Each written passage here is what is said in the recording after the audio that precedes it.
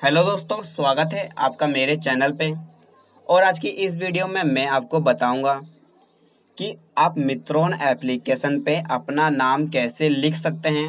वहाँ पे कुछ और लिखा हुआ आ रहा है तो वहाँ पे आप अपना नाम कैसे सेट कर सकते हैं, आइए जानते हैं।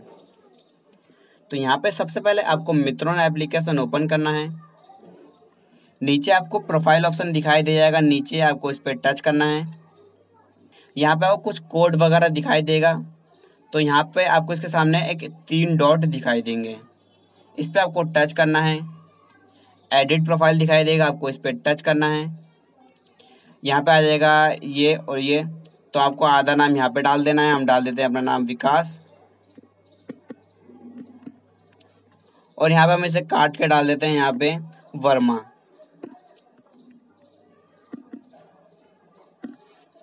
फिर ऊपर आपको सेव ऑप्शन दिखाई दे जाएगा। इस पर आपको टच करना है। फिर ये बैक हो जाएगा और यहाँ पे आपका जो नाम है, वो चेंज हो जाएगा। पर मैं आपको बता दूँ, अगर आपका नाम चेंज नहीं हो रहा है तो यहाँ पे आपको थोड़ा इंतज़ार करना है, क्योंकि ये एप्लीकेशन कभी कभार सही तरीके से काम नहीं करता है। तो आपको इंतज़ार कर लेना है, इसे अपडेट वगैरह करके देख लेना है, आपकी दिक्कत ठीक हो जाएगी।